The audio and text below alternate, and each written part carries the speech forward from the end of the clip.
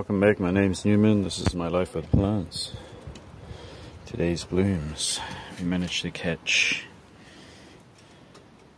Notocactus ottonis. Look at that rich yellow. This plant is a full grown plant when I bought it. It's starting to get a little cylindrical this is because it's a really large plant. And it's been out here all winter and the full exposure to sunlight. Gets plenty of direct sun underneath this nylon net and have many more buds that are already opened but we're lucky to catch one flower and um, I bought this as a already a full grown plant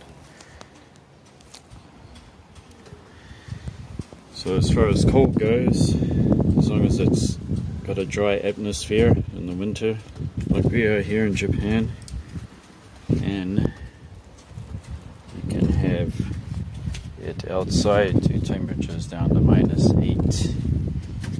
And then next up is another Echinopsis that just opened.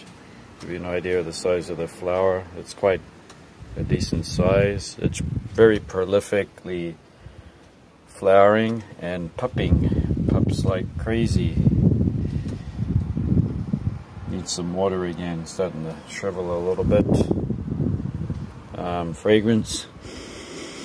Yes, it has fragrance too, so that's great. And this thing can attain huge dimensions. So I've seen these up to 50 centimeters and 20 centimeters wide, so they're pretty massive. Next up is the first flower of the Opuntia humifusa. Beautiful, beautiful yellow. Very common in the US. Common, but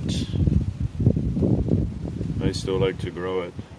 I think it's a neat, easy growing opuntioid. Let's put some more buds there. One, two, three. What else do we have? We have something that's almost ready to flower, and that is um, Hamatocactus spinus. This is my oldest plant. There's an offset down there.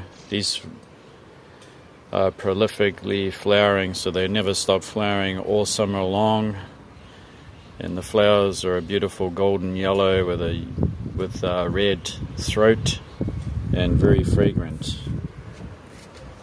Nice lemony fragrance. Okay, now we can see these Gymnocalycium saglionis flowers starting to open up.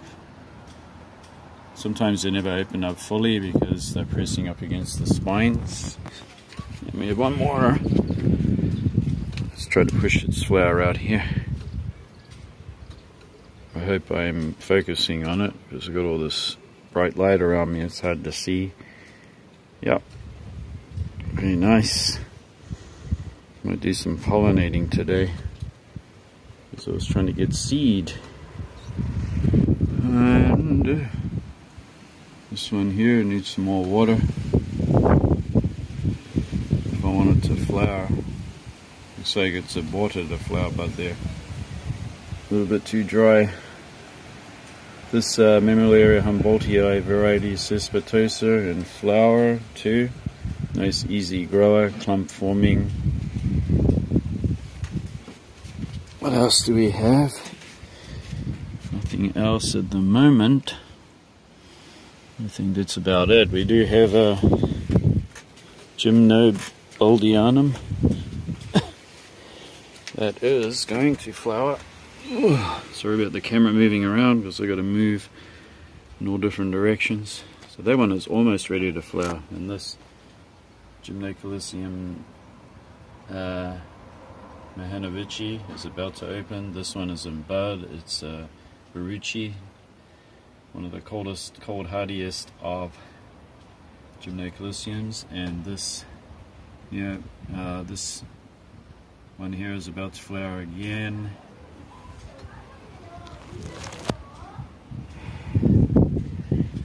also have this Rebutia that has flower buds on it. And this Hypogaea looks like it's got flower buds coming up on it. It's a Copiapoa and Gymnocalycium monvillei still has its bud.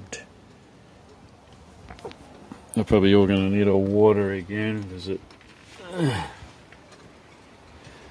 fully exposed to the sun with this net and they dry out quite quickly. Anyway, gotta do a bit of repotting of some Echinopsis. So that's all for today's blooming.